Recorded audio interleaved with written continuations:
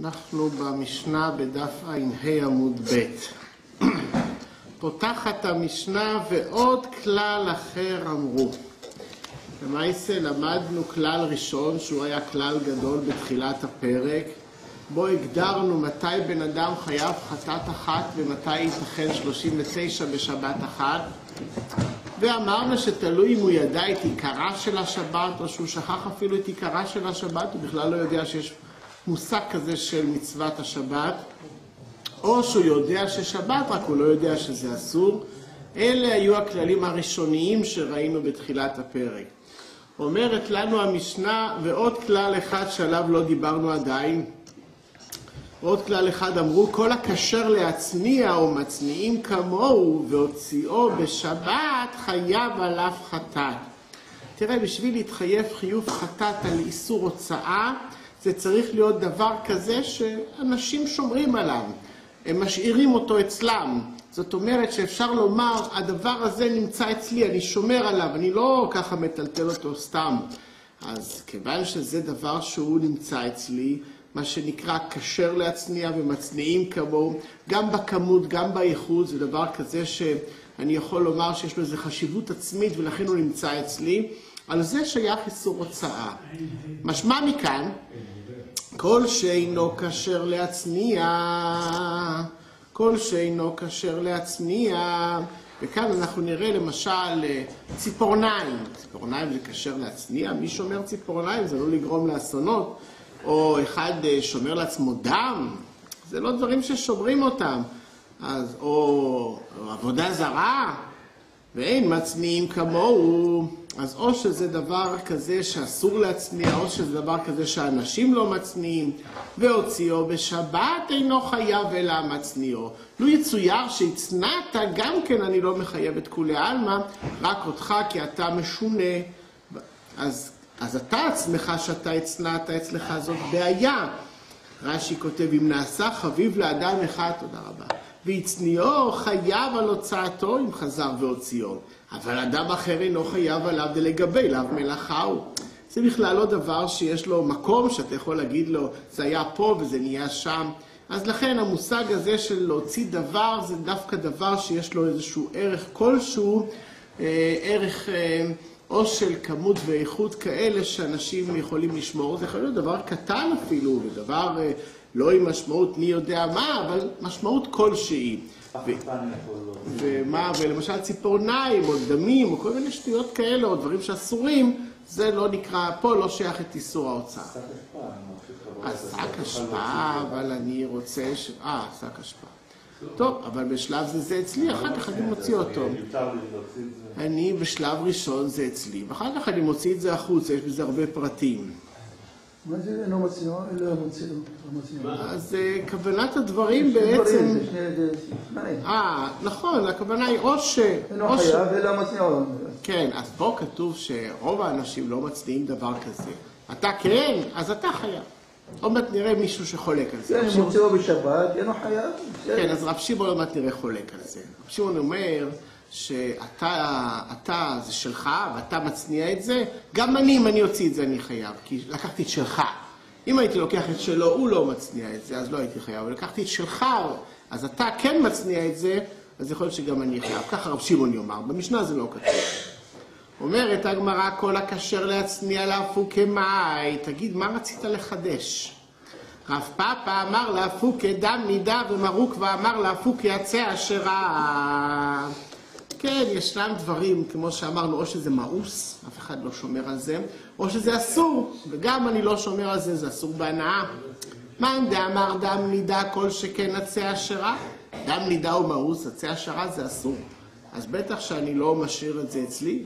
מאן דאמר עצה אשרה, אבל ייתכן שדם נידה מצנע לי לשונרא. שמע, יש לי חתולים ואני רוצה שיהיה להם כוח לאכול את העכברים, אז אני שומר להם דם, זה כנראה אוכל שהם אוהבים, הקינוח, וככה זה מקבלים כוח בשביל העכברים. ואידך, כיוון דחל שלום מצנע לי. נכון, יש צד אחד לומר אולי שהחתולים יקבלו כוח, אבל יש איזשהו כלל כזה שכנראה לא מצאו לו מספיק הסברים טבעיים, כשלוקחים מדם של בן אדם ונותנים לבעל חיים, זה מחליש את הבן אדם, אז בן אדם לא מסכים שיקחו מהדם שלו וייתנו למישהו אחר. אז לכן אה, אולי בן אדם רגיל לא מצניע כאלה דברים. אמר רבי יוסי ורב חנינא, היידה לא כרב שמעון, כי רב שמעון הרי אמר שלא אמרו כל השיעורים הללו, אלא למצניעיהם. אבל אחד שהוא עשיר, למשל, שהוא לא רגיל, אה, הוא לא רגיל להצניע כאלה דברים, אז הוא פטור. אז אם אה, נגיד, אה, אפשר לומר, אדם מצניע, יש לו איזשהו יהלום, אז הוא מצניע, יש לו איזה תפוז, מה הוא מצניע, מה אכפת לו? אז יש דברים שאדם בכלל לא שומר עליהם, לא מצניעים אותם, לא שומרים עליהם. כל שאינו כשר להצניע, למה הכוונה? אמר רב לזר, עד דלא כרב שמעון בן אלעזר. דתניא כלל אמר רב שמעון בן אלעזר, כל שאינו כשר להצניע ואין מצניעים כמוהו, והוכשר לזה והצניעו. זאת אומרת, אותו בן אדם מסוים כן הצניע את זה, הוא כן החשיב את זה, ובא אחר והוציאו, נתחייב זה במחשבה של זה.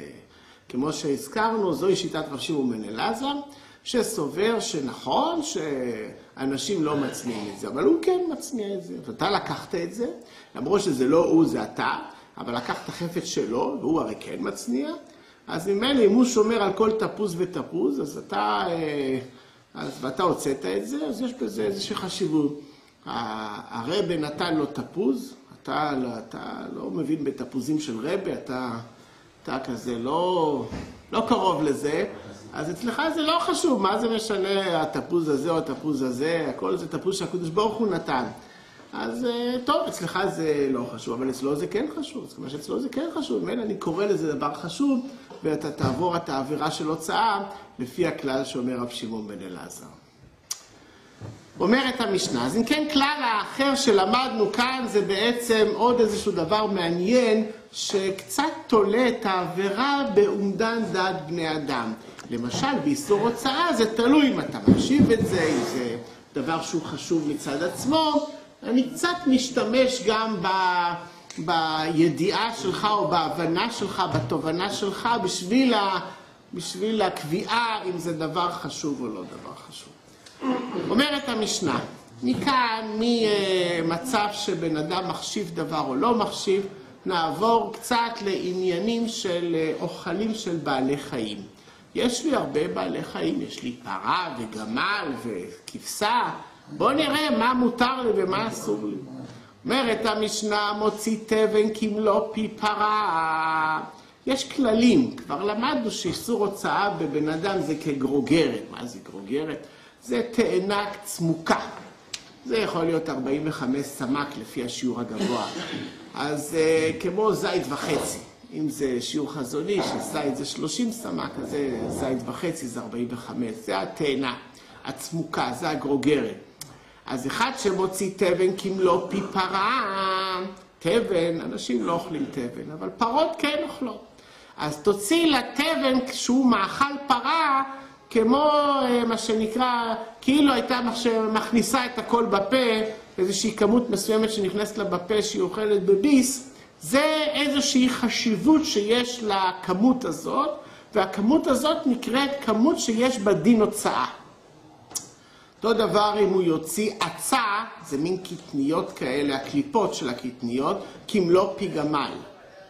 זה גס יותר, זה עבה יותר, ופרות לא אוכלות את זה, אבל גמלים כן אוכלים את זה. או שהוא מוציא עמיר כמלוא פי טלה. זה החלק הרך של הקש, אמיר כמלוא פיתלה, או עשבים כמלוא פקדי, או עלי שום ועלי בצלים לחים אז כגרוגרת, יבשים כמלוא פקדי. ואין מצטרפים זה עם זה כיוון שלא שוו בשיעוריהם. זה ברור שאתה לא יכול לצרף את השיעור הגדול לשיעור הקטן, להשלים את השיעור הקטן, אבל להפך כן. זאת אומרת, אם אתה מצרף את השיעור הקטן לשיעור הנדרש לגדול, הגמל למשל, אז אתה כן בעצם עובר את העבירה של הוצאה מרשות לרשות, כי למעשה זה, כלפי הגמל זה גס, אז אם אתה נותן לו אוכל יותר עדין, אז בוודאי שזה מצטרף. אנחנו משנים במידות להוצאה, כשזה נושא אוכלים, כשנושא... ככה יוצא, כן. כי אז דיברנו על מחט, שזה משהו. כן, זה כלי, אז יש לזה חשיבות, אז לכן שם זה כן הוצאה. אומרת הגמרא, בואו ננסה לבאר לעצמנו את הפרטים. מה זה עצה? אמר רב יהודה, תבן של מיני קיטניות, הקליפות של הקטניות. כי את הרב דימי אמר המוציא תבן כמלוא פי פרה לגמל. שאלה מעניינת מתוך הסוגיה. גמל אוכל עצה, פרה אוכלת תבן. עכשיו אמרת לי שהוצאת תבן זה כמלוא פי פרה. אני הוצאתי כמלוא פי פרה, אבל לגמל. אין לי פרות בעדר, יש לי רק גמלים. אז אני כשהוצאתי, הוצאתי את זה עבור גמל. בשביל גמל זה לא מספיק כמלוא פי פרה, הוא צריך לאכול יותר. אבל אני, זה הכמות שהוצאתי. האם במצב שכזה שהוצאתי, אומנם באופן מוחלט, אני הוצאתי את האיסור. כיוון שהכללים הם שתבן, הכמות של ההוצאה להתחייב עליה זה כמלוא פי פרה. אז באופן מוחלט התחייבתי באיסור. אבל אם אתה תולה את זה בדעת הדבר שאליו אני מוציא, אני הוצאתי את זה לגמל, ולגמל זה לא מספיק, זה לא נקרא כמלוא פי גמל. האם כשהוצאתי תבן שהוא, כמל... שהוא uh, בעצם מיועד לפרות, הוצאתי את זה עבור גמלים, שבשבילו זה לא כמלוא פי גמל, האם גם אז אני חייב? כך השאלה שאנחנו מנסים לברר, זה מה שרב דימי רוצה לברר, ואומר לנו, מצאתי בזה מחלוקת המוראים. רבי יוחנן וריש לקיש. יוחנן אמר חייב, יוחנן אמר, עזוב אותי מהפרה או מהגמל. באופן מוחלט הוא הוציא אוכל כזה, שבאופן כללי מיועד לפרות, והוא בשיעור שיש בו כדי הוצאה, למרות שתכלית האוכל הזה הספציפי הייתה לגמל ולא לפרה, אדוני אתה חייב, באופן מוחלט עברת את העבירה. שמעון בן לקיש אומר לא ככה. אם אתה הוצאת את זה לגמל ולא לפרה, אז הרי לגמל לא מספיק. אז אם זה לא מספיק, אז זה לא נקרא שעברת את איסור הוצאה. אין בזה חשיבות מספקת. מספרת לנו הגמרא, באורתא אמר רבי יוחנן אחי, שחייב. אבל בבוקר, אחרי שהוא חזר עוד פעם על הסברה, הדר בי ואמר פטור. אמר רבי יוסף, שפיר עבד הדר דעה לא חזי לגמל. כל מה שאתה מוציא את זה, זה בשביל הגמל. ולגמל אמרת לי שצריך יותר, והוא הוציא פחות, הוציא רק אם לא פי פרה, זה לא נקרא תוצאה חשובה, עזוב. אמר לאביי לרב יוסף, דווקא אני חושב לומר סברה הפוכה, אדרבה, כדי מעיקר המסתברא. דעה חזי לפרה. אני רוצה לומר שבסופו של דבר באופן מוחלט הוצאת דבר שהוא איסור. כי זה שיעור חשוב לפרה. מה שאתה חשבת עכשיו להכיל את הגמל, מה זה אכפת לי מה אתה חשבת? ולכן אני דווקא חושב שכן יש לתלות בשאלה עבור מי הוצאת. סיכום הדבר. אגב, הערת שוליים אני רוצה לומר, יש טעויות שלפעמים יכולות להיות טעויות בשיקול הדעת, אצל דיין למשל. טעות בשיקול הדעת לא חוזרת. אני, אתה בעל דין אחד והוא בעל דין שלי, ודנתם ביניכם. מה שאני פסקתי זה לא טעות בדבר משנה, אבל אולי זה טעות בשיקול הדעת איך ללמוד את הסוגיה. אפשר ללמוד כא' ואפשר ללמוד כב'. כידוע שטעות בשיקול הדעת לא חוזרת, כי מי אמר שעכשיו אתה אומר אמת? אולי מה שאמרת מקודם זה אמת. אז מה שהקדוש ברוך הוא שם לך בפה פעם ראשונה, זהו, אמר. אז ככל שיהיה תמיד מדובר בשיקול הדעת או בהבחנת הדברים, שזה באמת תלוי בשיקול דעתו של הדיין, הפסיקה של הדיין היא הקובעת, ואחר כך הוא לא יוכל לחזור. זה לא אומר שהוא לא צריך להיות מתון בדין. הוא בוודאי צריך הרבה לשקלל עם עצמו עד שהוא מוציא מפיו את השאלה אם הוא חייב או פטור. אבל אחרי שהוא כבר חשב והחליט שזה פסק הדין, גם אם אתה תבוא ותלמד איתו אחר כך שבעצם לכאורה יכול להיות ששיקול הדעת יש מקום שישתנה, לא, אבל שיקול הדעת, טעות בשיקול הדעת לא חוזרת. ככה היא ההלכה, וכך גם באמת אה, בתקנות, בסדר הדין של בתי הדין הרבניים, אז כתוב שאם כל הטעויות זה טעויות בשיקול הדעת, לא להגיש ערעור, כי טעות בשיקול הדעת לא חוזרת כידוע. למה צריך להגיד את הזאת? הרי כשהוא מוציא, זה לא משנה אם הוא רוצה להכיל או לא רוצה להכיל. גם אם הוא לא יכיל גמל, גם אם הוא לא יכיל פרה, אז איך שהוא מוציא... זאת, זאת הייתה הסברה שחשבנו לומר שחייב, וזה מה שאמר אביי, אדרבה. אביי אומר, בסופו של דבר, באופן מוחלט עברת עבירה. זה עבירה, עבירה היא להוציא כמות כזאת מהסוג הזה. מה שאתה עכשיו חושב לי כן להכיל או לא להכיל, מי זה מעניין, נכון? זה בדיוק הסברה של אביי, אבל אנחנו רואים בזה בעיה של שיקול הדעת. המעניין הוא רק שבאמת זה אה, דווקא המשפט האוניברסלי חושב הפוך. הרי כל מוסד הערעור נועד בשביל שיקול הדעת מחדש. ואילו בדין, בדין תורה, המושג ערעור לא קיים בכלל. מה זה, מה זה ערעור? איך אפשר לראות? אה, בית דין, בית דין, בתר בית דין לא די כי. כל מה שיש היום ערעור זה רק בגלל שהמנדט חייב את, ה, את אה, ערכאת בתי הדין לשים ערעור. אבל בעצם זה, אין דבר כזה בהלכה. אבל אז- אנחנו רואים לא פעם ש- ש- שבתי דין גבוהים יותר, ערכאות ערעור, הופכות, אז מה ההלכה? מה? ה- הופכות, כן, נכון. אז מה, אז אז אני אגיד לך תשובה. בדיני נפשות, לא, לא, אז קיבלו על עצמם, קיבלו על עצמם שכל בית דין אזורי שפוסק זה על דעת שיאשרו בית דין הגדול. ככה קיבלו על עצמם. אבל זה הכל נובע לא מצד שיש מושג כזה בהלכה שנקרא ערעור, רק שכיוון שהכריחו אותם לעשות את זה, אז ככה הם עושים. אז קיבלו על עצמם שזה על דעת והם שבית הדין הגבוה, טעות בהלכה. אני אומר לך טעות בהלכה. אדוני הדיין, טעית בהלכה, אני אומר לא, שטעית. לא טעות בהלכה, כן, טעות בשיקול הדעת, לא, זה- אמרנו, שיקול הדעת זה לא טעות שחוזרת. טעות שיקול הדעת בהלכה היא לא חוזרת. אם כל הערעור בנוי רק על טעות בשיקול הדעת, זה לא חוזר.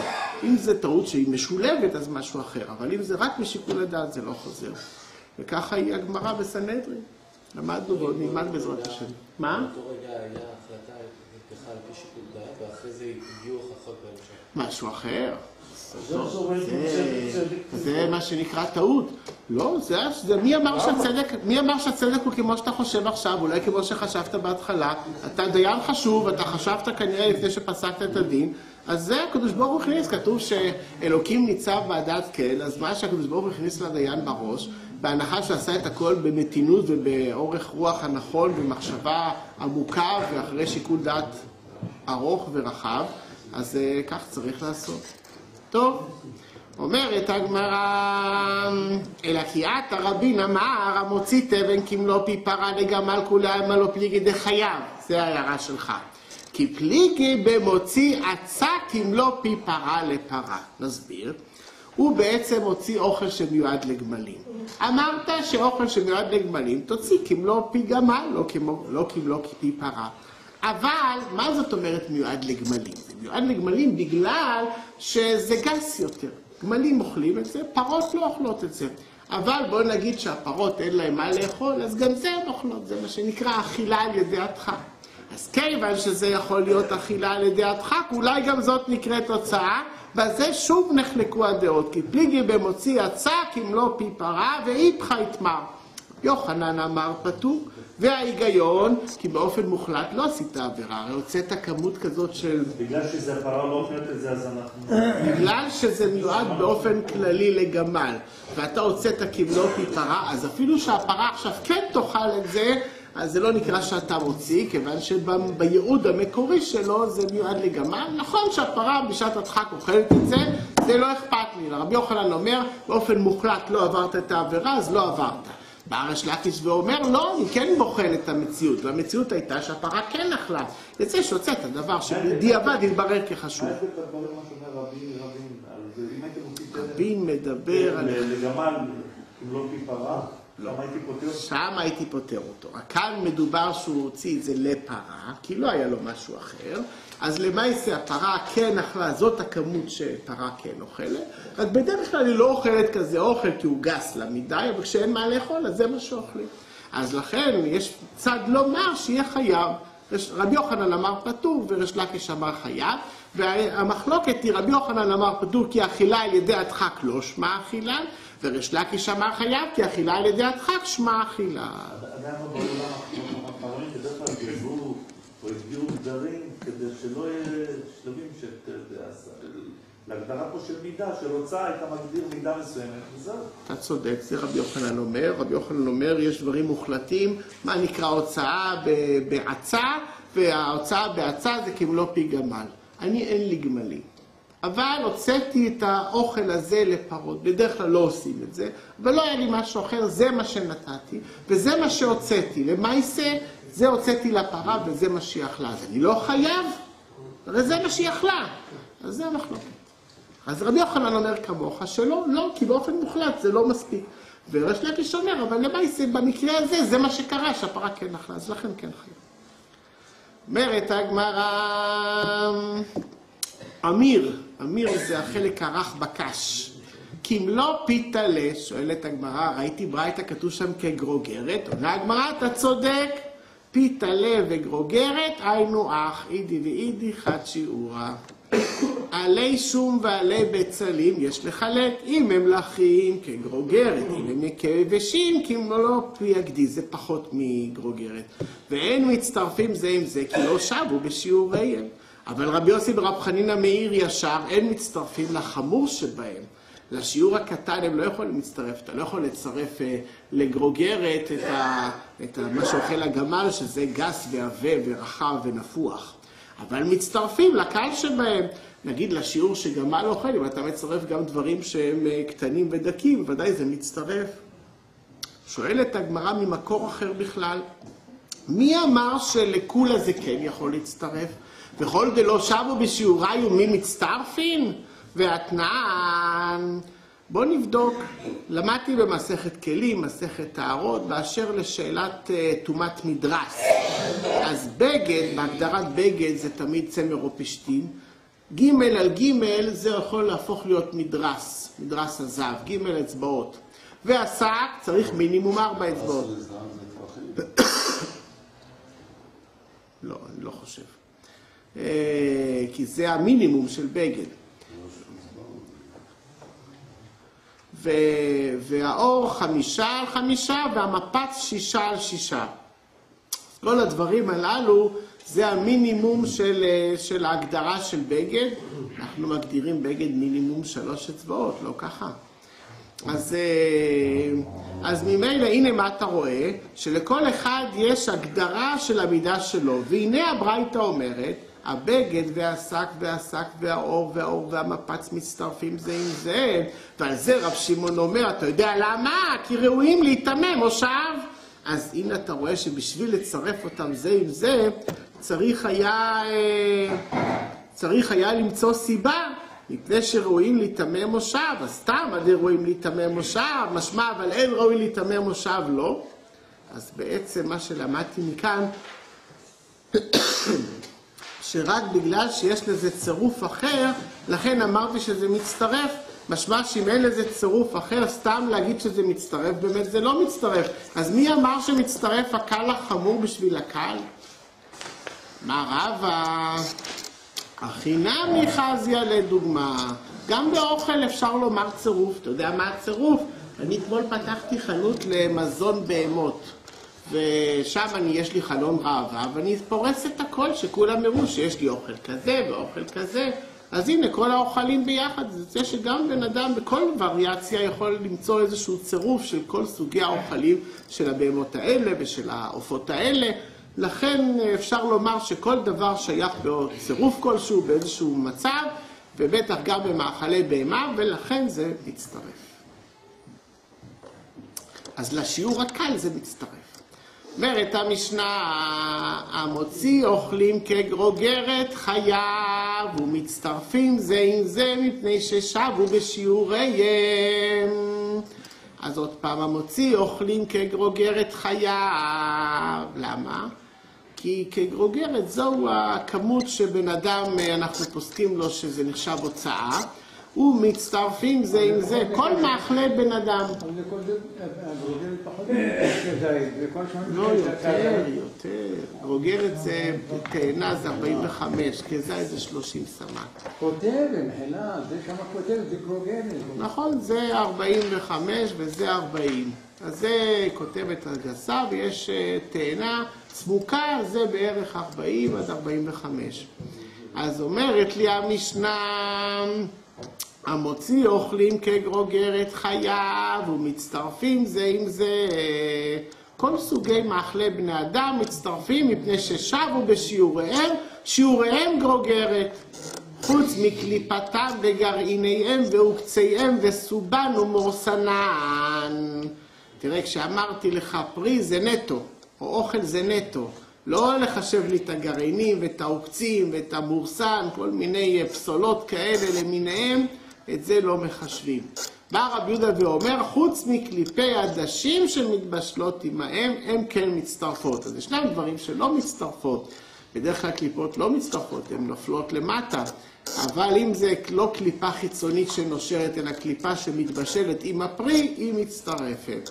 שואלת הגמרא, וסובן ומורסנן לא מצטרפים? למה כבודו אמר?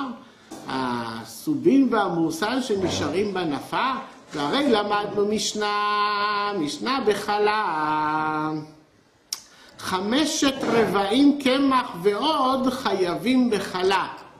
ככה לשון המשנה. הם וסובן ומורסנן, אפשר לצרף את כולם לכמות הנדרשת. כמה באמת זהו המינימום קמח שחייב בחלה דאורייתא? אז שיטת רב חיים נאי זה קילו 667, קילו 667 זה המינימום, בשביל ברכה צריך יותר. אז, או, או, או, קילו 667 זה גם לברכה, קילו 200 זה, זה כבר חייב, זה רב חיים נאי. ובשביל ברכה לפי חזוני זה 2250. אז אם כן, פה כתוב איזשהו מינימום שחייב בחלה, וכתוב שאפשר לצרף את הסובים והמורסם. באמת השיעור חלה, איך שהיה במקור, כתוב ראשית הריסותיכם, יש מצווה בתורה להפריש חלה, אנחנו מפרישים חלה כעשירית העיפה. עשירית העיפה, מה זה עשירית העיפה? עומר. היה נופל להם עומר מן במדבר, אז זה, כן, זה ה-43 ביצים. מכל פנים, זה במקור היה 1 נקודה, עשירית העיפה זה היה 1.8 קבים. אבל אחר כך שינו את המידות והוסיפו מידות ירושלמיות עוד שישית, ועל המידות המדבריות זה הירושלמיות, ועל הירושלמיות הוסיפו מידות ציפוריות עוד פעם שישית, התוצאה שזה הפך להיות חמשת רבעים הקו. אבל בלי להיכנס למה שהיה, הנה כתוב לך במשנה שזה כולל את הסובים והמורסם. אמר אביי שכן אני אוכל פיתו בעיסבלוסה. טוב, מה אתה שואל אותי מחלל הוצאה? רוב האנשים לא, לא, לא מוצאים, לא אוכלים ככה. העני שככה אוכל, אז ממילא אנחנו קובעים שהוא חייב חלה גם על, שחייבים חלה גם על הכמות הזאת, שזה אפילו כולל בתוכו. אבל בעניין הוצאה, רוב האנשים לא אוכלים ככה, בעניין הוצאה אני לא מחייב. והיום השתנה הדין, למה? כי היום חכמי התכונה והתבונה אומרים שיותר טוב לאכול קמח מלא ותוספת מורסן וכל הסובים האלה וכל הדברים האלה למיניהם, שהם יוצרים חילוף חומרים מהר יותר וטוב יותר בגוף. אז ממילא היום כנראה שהשתנו הגופים והיוצרות והכל השתנה, ואנשים מוכנים לשלם פי שלושה ללחם בשביל לאכול את הסובים האלה, אז זה הפך להיות דבר יקר ודבר חשוב, וזה לא כמו שכתוב פה בגמרא. במשנה, אז ממילא הדין משתנה גם בעניין ההוצאה, זה הופך להיות דבר חשוב, אז ממילא זה אסור. מה, בזמן חז"ל... בזמן חז"ל הגופים היו אחרים, היה יותר כנראה סוג אחר, כן. זה עמוק אבל יותר, זה היה צריך סוגים. לא, אני אגיד לך, יכול להיות ש...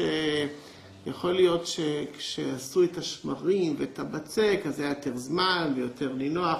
היום כל הצרבות למיניהם זה בגלל שמבשלים מהר יותר ואופים מהר יותר לפני שזה מספיק לטפוח ולעשות את הפעולה הכימית הראשונה שלו.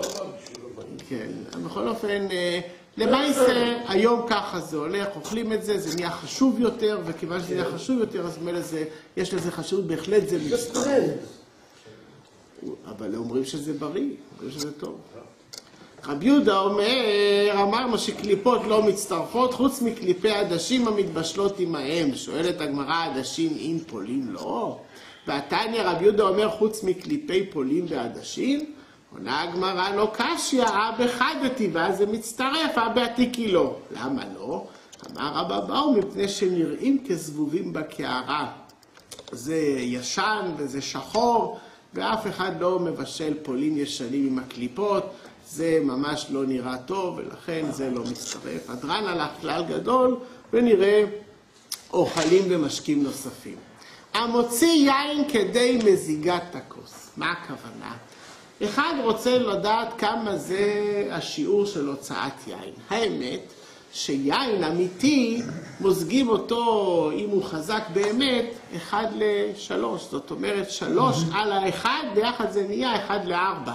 אז זאת אומרת, רבע יין ושלוש רביעיות מים. לא כמו שהיום, היין כנראה שונה וחלש יותר.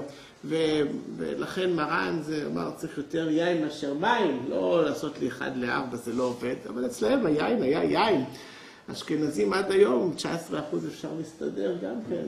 אבל בכל אופן, אה, גם כבר אה, היין השתנה. אז בכל אופן, אה, זה הנקודה, הנקודה היא שאם היין חזק מאוד והמזיגה הייתה 1 ל-4, אז לא צריך להוציא את כל היין עם המים, אפילו אם אתה מוציא את התרכיז יין הזה, ואפשר היה להוסיף מים וזה יהפוך להיות כוס יין לפי ההלכה, אז זה כבר נקרא תוצאה, אפילו שמדובר ברבע רביעית, לא ברביעית אלא ברבע רביעית. אומרת המשנה מוציא יין כדי מזיגת הכוס. אפילו שאתה בעצם מוציא רק רבע רביעית, אתה כבר חייב. אתה יכול להוסיף מים, בדיוק. כן, בדיוק. חלב, כדי גמייה, בן אדם שומר לעצמו חלב. אבל לא. סמיכות, לא? לפי הסמיכות עושים, והחוזק והחריפות. גם סמיכות וגם חריפות. כן, חריפות. כתוב בגמרא שזה היה חריף נורא, ולכן היה צריך מתק אותו. זה היה חריף והיה צריך מתק אותו. אז אם כן, חלב זה כדי גמייה. גמייה, הכוונה, אפשר לעשות מהחלב גבינה או דברים אחרים? לא. החלב זה כמות כזאת שאני שומר, שאני יכול אה, לשתות. דבש כדי ליתן על הכתית. מה זה דבש על הכתית? אז רש"י פה אומר, המצאה, זה גמרא במציע, דבר מעניין מאוד. למה קוראים לחטוטרת של הגמל דבשת? אומר רש"י שבגבי הסוסים והגמלים, מחמת המסעות, היו, היו להם פצעים או חיכוכים, היה שם, זה היה מתחכך המסע בעור, וזה יוצר לו איזה פצעים. מה התרופה לגמל? לשים לו דבש. דבש. שמים היום דבש? דבש והלביש למאי חזי, אם אתה לוקח דבש ישן שכבר אי אפשר לאכול אותו, מה אפשר לעשות איתו? תמרח אותו על הגב של הגמל. חזי לקטותא דגמלה. אבל רבותיי פירשו, כך אומר רש"י, כתית זה מכה שעל גב היד ועל גב הרגל. טוב, אז אפשר לנסות מהיום, יש לך מכה על היד או על הרגל, תשים דבש, נראה מה יגידו הדבורים, נראה מה אשתך תגיד. טוב, בכל אופן, למעשה כרגע לדבש יש שימושים. אז פה כתוב שכדי לתת על הכתית, זה הכמות, שזה נחשב הוצאה. שמן, כדי לסוך בו איבר קטן, שמן אתה לפעמים צריך לסוך את האיבר, אז אם כן, הנה, אפילו שמן, קצת שמן זה גם טוב. זה גם נקרא הוצאה כי יש לזה חשיבות. ואילו מים, כדי לשוב בהם את הקילור, אתה צריך חומר לעיניים, זה נמס במים, אז המים שכמותם היא כזאת שהחומר של העיניים נמס בהם, זה כמות המים. היו מערבבים את המשחה עם המים לרפא את העין.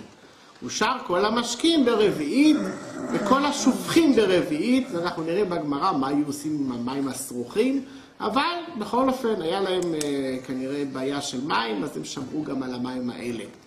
רב שמעון אומר, כולם ברביעית, גם היין והחלב והדבש. אז מה זה כל השיעורים האלה שראיתי פחות מרביעית? לא נאמרו אלא למצניעיהם. אם אתה הצנעת את זה, שמרת על זה ואחר כך הוצאת, אז ההצנעה הראתה שאתה שומר על זה מאוד, אז אפילו אם זה היה פחות מכשיעור, הנה עובדה שאתה שמרת על זה היטב, אז ממילא, ממילא זה נקרא כבר אה, הוצאה, רק כבר למדנו שהאם בטלה דתו או לא בטלה דתו במשנה לעיל בעין A. אומרת הגמרא תנא כדי מזיגת כוס יפה, כשאני אמרתי לך יין שאסור להוציא אפילו ברביעית, רוב הרביעית זה כדי מזיגת כוס יפה. מה זה כוס יפה? כוס של ברכה. רש"י כותב ברכת המזון שהצריכו חכמים ליפותו. צריך לעשות לה איתור ועיטוף, הדחה או שטיפה, חי ומלא. הרעיון שזה מלא, ואז הכוס הזאת היא כוס שמכילה רביעית שלמה. אמר רב נחמן, אמר רב אבר אבו הכוס של ברכה צריך שיהיה בו רוב הרביעית כדי שימזגנו ויעמוד על רביעית. זה היחסים של אחד לארבע. אמר רבא, פנני נמי תנינא, המוציא יין כדי מזיגת כוס, בעין זין, המוציא יין כדי מזיגת כוס, ותניא לה כדי מזיגת כוס יפה, וקטני סיפא אושר כל המשקים ברביעית. אז אה, בפחות מרביעית יצא שפטור. אומרת הגמרא ורבא לטעמי דאמר רבא כל חמרא דלא דרי הלכה תלת מאיה לאו חמרא הוא. שיטת רבא זה לא אחד לארבע, אחד לשלוש. אמר אביי, אני רוצה לדחות את מה שאמר רבא, שתי תשובות בדבר. חדה, כי למדנו במסכת נידה והמזוג שני חלקי מים ואחד יין מן היין השירוני. כן, נכון, בשרון שם היין חריף פחות וכנראה סמיך פחות, לכן שם אפשר למזוג אותו בפחות, אבל בדרך כלל אולי צריך אחד לארבע. ועוד, יש לי שאלה עקרונית על כל המהלך שלך. אני מכניס רק טיפ-טיפונת יין ואתה כבר קורא לזה הוצאה? ומה, המים הרי נמצאים בכד, הם בכלל לא בתוך הכלי הזה, אז למה זה נקראת הוצאה? המים בכד מצטרפים? לא שמעתי דבר כזה, בגלל שיש לי פוטנציאל מזיגה, זה כבר נקרא שאני הוצאתי? אני הוצאתי בסך הכל, תחשוב כמה, אם נגיד ששיעור חזוני, שיעור רב חיים נאי 86 בשביל רביעית, אז כמה הוצאתי? 20? 20 סמ"ק, כבר אני נחשב חייב. אבל אי אפשר לשתות אותו ככה. בדיוק. מה? זה לא בר שתייה, אז זה כנראה יהיה ההסבר. אמר לי רבא, עד דקה אמרת שני חלקי מים ואחד יין מן היין השירוני. יין השירוני לחוד דרפי. טוב, אין הכי נמי, יין השירוני נמזג בשני חלקי מים. הנה מי אתה, מה אתה שאלת אותי ממסכת נידה? שם השאלה הייתה הצבע. טוב, משום חזות, אז אולי צריך אה, אחד לשלוש, או זה נקרא אדום, אולי אחד לארבע, כבר לא כל כך נקרא אדום. אבל לטעמה בית פי, אבל אם אתה רוצה שיהיה לך טעם של יין, צריך למזוג יותר, שיהיה מתוק ולא כל כך חריף. ודקה אמרת מים מכד ומצטרפים, לעניין שבת מידי דחשיב באינן, והענם יחשיב, כי הרי בלי מים אי אפשר לשתות את זה. אז ממילא אתה שאלת אותי מצטרפים, התשובה היא כן. בשרון אפשר להוציא חצי.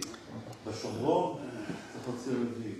טוב. בשומרון יודע היה חזק יותר. אה. אבל מה- אני לומד מפה? גם, אה, זה רק על אין הכמויות של ההוצאה. אין צביעה במשקים למעשה. לא, זה רק לעניין של לא, אבל הצביעה. אם עושים את זה בשבת, אז למעשה... אה, אין מותר צביעה במשקים. לא? כן, אין צביעה במשקים, אבל אם אתה שם את המים, כתוב שכדאי כן לשים את המים ביין ולא את היין במים. כן. כך כתוב.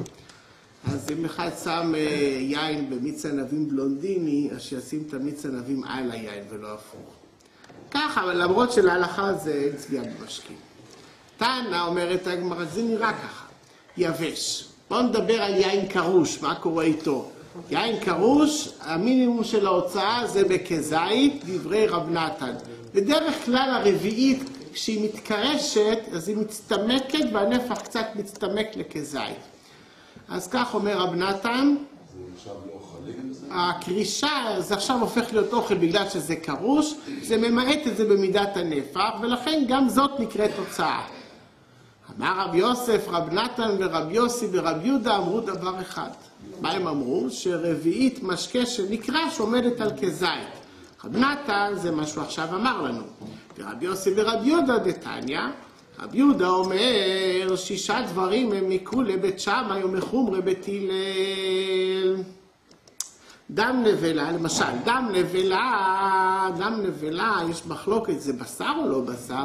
אם נאמר שזה בשר זה מטמא, אם זה לא בשר אולי זה לא מטמא. בית שמאי דווקא אומרים שזה לא מטמא, כי זה לא בשר. אז דם נבלה בית שמאי מתארים ובית הלל מטמאים. אמר רבי יוסי ורבי יהודה, אף כשטימאו בית הלל את הדם נבלה, לא טימאו אלא בדם שיש בו רביעית, הואיל ויכול לקרוש ולעמוד על כזית. זה המינימום שנצרך בשביל לטמא, זה בתנאי שבדם יהיה רביעית, וההסבר בזה, כי אני מחשיב את זה אחר כך לבשר. איך אני אחשיב את זה לבשר? וזה יכול לקרוש ולהפוך להיות כזית, אז ממילא זה כאילו יש לי פה לפניי כזית בשר. אבל מה אמרנו ככותבת? קודם? אבל אה, פה אני, נכון, אבל פה אני מדבר על אה, כמות כזאת שאני מוציא, אז אני לא עכשיו- דיברתי, לא, לא דיברתי פה על הוצאה, דיברתי פה על ה... הרעיון הוא שאני רוצה לטמא, אז איך אתה מטמא דם? אז התשובה היא, אני מטמא דם רק בתנאי שיש בו רביעית, זה לא קשור עכשיו להוצאה. אבל לגבי כבד, מה מה הדין שלו? כן. כבד בסתום שכן, כבד עצמו כן. אומרת הגמרא, אמר אביי, דילמה לא היא, עד כאן לא קמה רב נתן עתה אחא דבאי רביעית, אלא ביין דקליש. טוב, נו, אז אין ברירה, זה כשמצטמק זה הופך להיות uh, כזית, אבל בדם דסמיך, כזית לא באי רביעית, אולי בדם סמיך, ככה אולי לא צריך להגיע לזה. הנה מעט כאן לא קמה רבי יוסי ורבי יו- רבי יוסי ורבי יהודה תם דכזית סגי לה ברביעית, אלא בדם דסמיך. אבל יין דקליש, כזית אבי יותר מרביעית, חימפיק פחות מכזית, אולי כבר יהיה חייב. אז באמת אולי יש לחלק ולדעת איזה סוג של יין מדובר, כדי ש... או דם מדובר, כדי שנדע אה, מהי הכמות ההופכית במשקה ומול מול האוכל. אמרנו חלף כדי גמיעה, איבאיה לאו מסתפקת הגמרא, זו שאלה בגרסה, גמיעה או כדי גמיעה? האם אומרים גמיעה באלף או גמיעה? אמר רב נחמן בר יצחק, הגמיעיני נא מעט מים מקדך. אותו דבר הסתפקה הגמרא, איבאיה לאו גרעינים או גרעינים?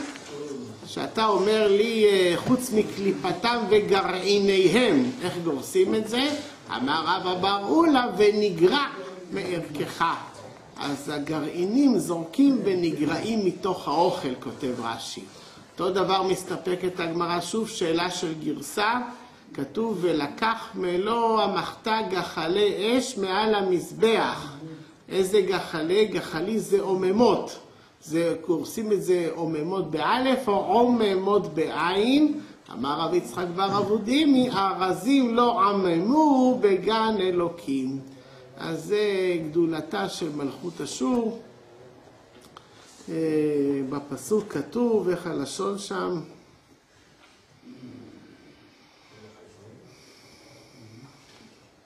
מקור ב' ארזים לא עממו, בגן אלוקים ברושים לא דמו אל שפתיו, והרמונים לא היו בפאורותיו, קולץ בגן אלוקים לא דמה אלא ביופיו. זה היה משהו מיוחד במינו, כנראה מהגדלות של מלכות אשור. שוב, הגרעין הוא גרעין הפרי, האבוקדו יש לו את הגרעין. אם לא היה גרעין, היה אבוקדו. עוד משהו גרעין. כל הפירות ככה, לא, אם לא היה גרעין, לא היה פרי, ככה זה נברא. אבל עכשיו זה מגרע. הדם? נכון. איבאיה לו מאמצים או מאמצין? אומרת הגמרא, אנחנו נראה לגבי עיניים, עיניים של מת. כתוב שמעצימים את העיניים, כן? אז השאלה אם כותבים את זה באלף או בעין. אומרת הגמרא, אמר רב חייא ברא ואמר רבי יוחנן, עוצם עיניו מראות ברע. אז מהפסוק אני, אה, שמתאר את המעלה של הצדיק, אני רואה שכותבים את זה באלף ולא באלף. למעשה בקנ"א יהיה כתוב שם שלא מעצימים את עיני המת בשבת, כי זה מוקצה, אז עושים כותבים את זה בעין ולא לא, באלף. לא, לא מוקצה. גורם למותו. לא, לא, מדובר באמת, מדובר באמת. מעצימים את עיניו, מעצימים את עיניו, זה מדובר באמת. זה הסוגיה בקנ"א, אפשר לראות שם. והקדוש ברוך הוא יזכה אותנו שנחיה ונראה ביד צדק דבר בימינו.